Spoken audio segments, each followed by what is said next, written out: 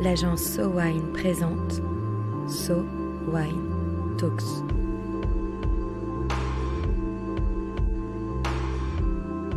La première série de podcasts analysant les tendances marketing et communication dans l'univers du vin et des spiritueux. Chaque année depuis 2010, le baromètre Sowine Dainata dresse un panorama des tendances de consommation des vins et spiritueux en France grâce à une étude menée auprès de 1000 personnes sur l'année écoulée.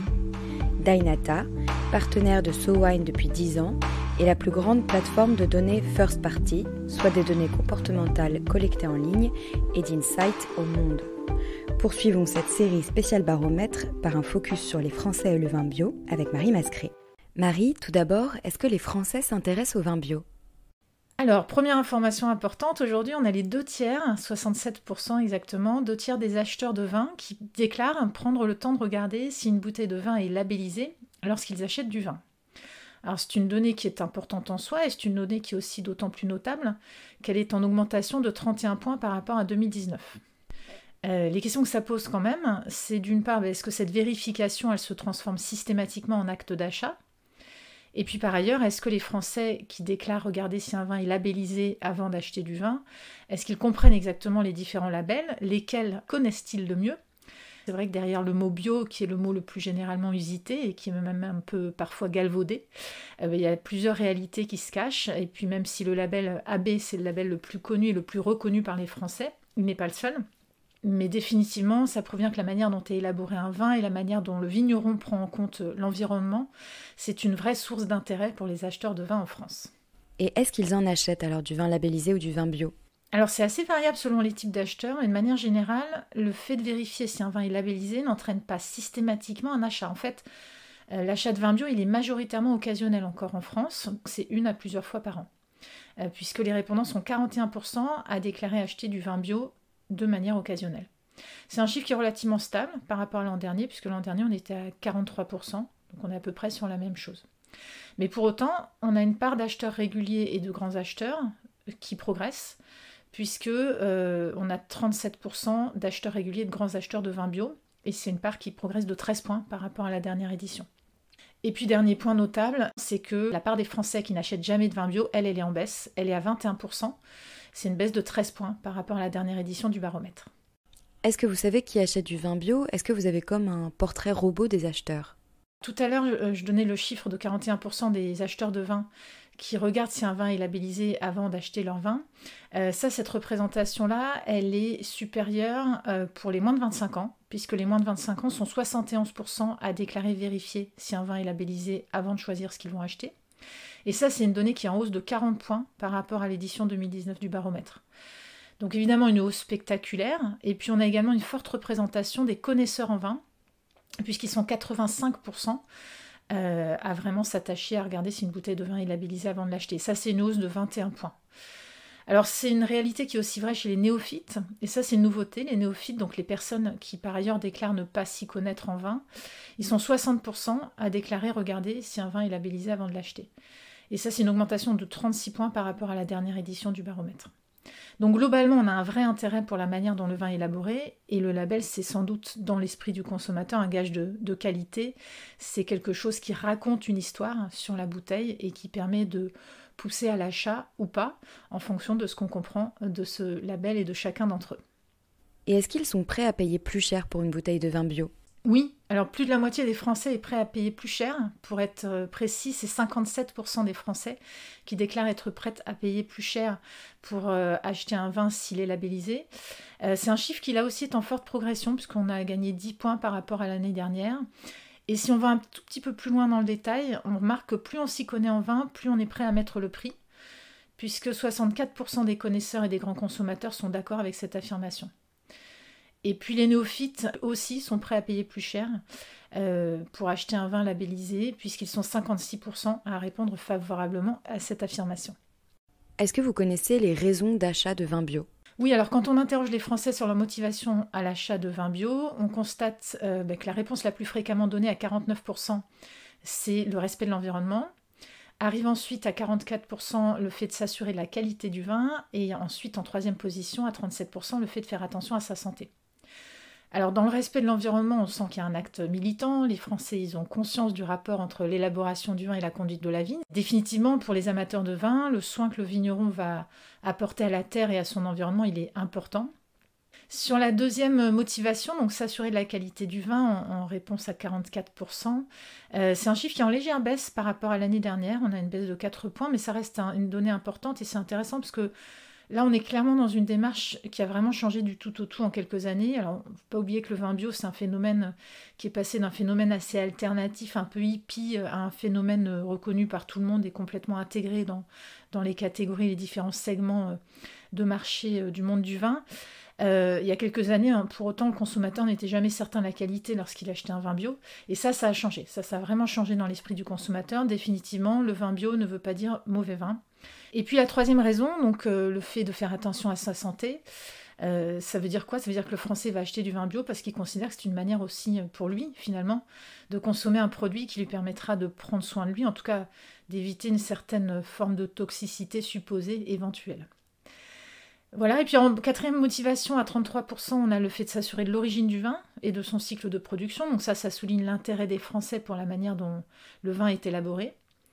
Euh, et puis en cinquième motivation, c'est protéger la santé des producteurs. Donc on retrouve ici cette forme d'engagement et d'acte militant. Euh, quand on achète un vin bio, euh, on considère que ce vin bio il permet aussi aux, vignerons de prendre soin de la terre, mais aussi de prendre soin d'eux-mêmes. C'est une réponse qui est donnée à, à 23%. Et à l'inverse, pourquoi est-ce que certains Français sont freinés par l'achat de vin bio? Alors à cette question, on a des réponses assez intéressantes. La première réponse, c'est parce que son prix est trop élevé, puisque 45% des réponses vont en ce sens. La question du prix, c'est un vrai frein. Même si paradoxalement, on le verra tout à l'heure, les Français sont aussi prêts à mettre plus cher dans une bouteille si elle est labellisée. Autre réponse à 20%, c'est la crainte d'un goût trop différent. Donc euh, bah, c'est sans doute lié à peut-être une forme de peur du changement, une peur de la nouveauté ou une déception qu'on n'a pas envie de renouveler. Et puis, euh, bah, dernière donnée intéressante euh, sur, euh, sur cette partie-là, c'est intéressant de noter que pour 18% des répondants, le fait de ne pas avoir acheté de vin bio ou de ne pas en acheter, bah, ils ne savent pas pourquoi, mais ils n'en ont jamais acheté. Donc voilà, on a 18% de personnes qui n'ont pas en tête cette notion de, labellisation et, de, et de vin bio. Et on a 16% aussi des répondants qui disent qu'ils n'en ont jamais acheté parce qu'ils ne se sentent pas du tout concernés par ces démarches.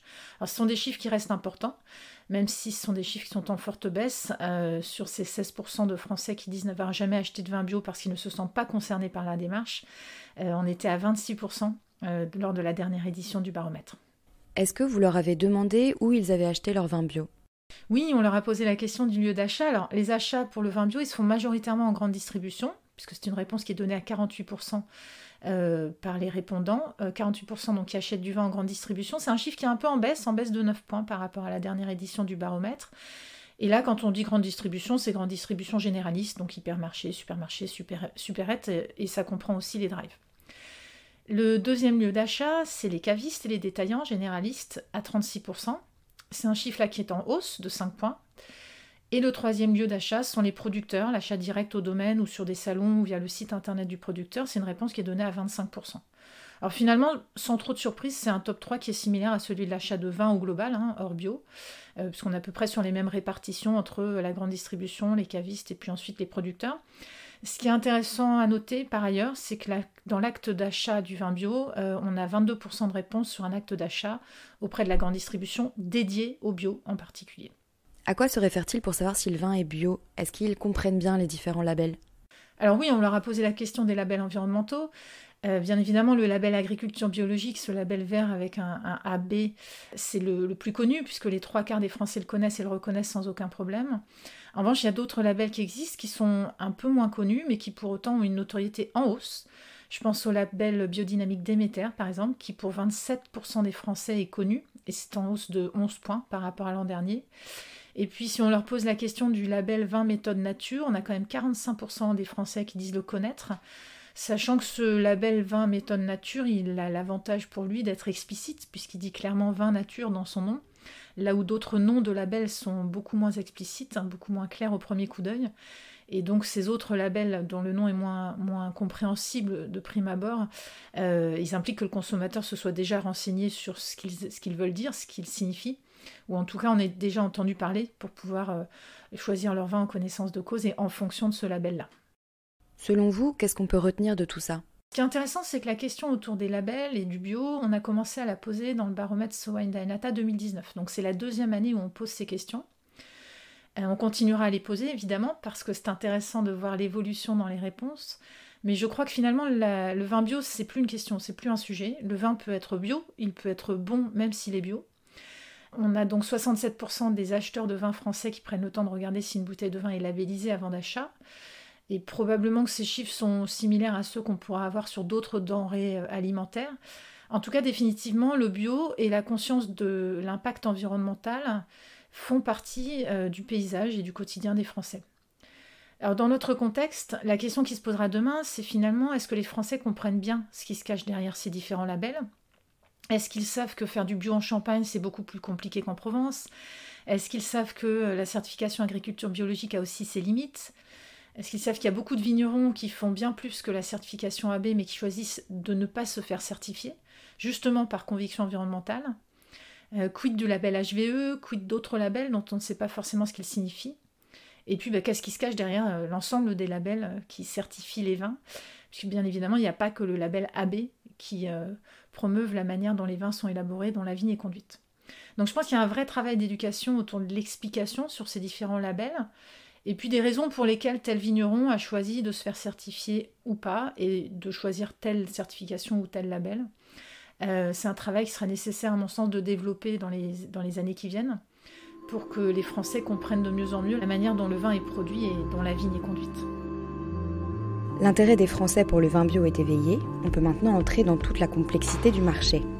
Différentes démarches, différents labels, différentes régions et différents prix. Une variété de vins labellisés se propose maintenant au consommateur français qui pourra choisir celui qui lui convient le mieux, tant en termes de goût que de démarche environnementale. Un épisode conçu et produit par SoWine, réalisé par le studio Encore Encore.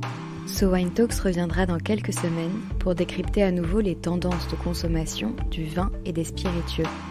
En attendant, si vous avez aimé cet épisode, N'hésitez pas à le partager sur Twitter et Facebook et à lui donner des étoiles sur iTunes. À très vite.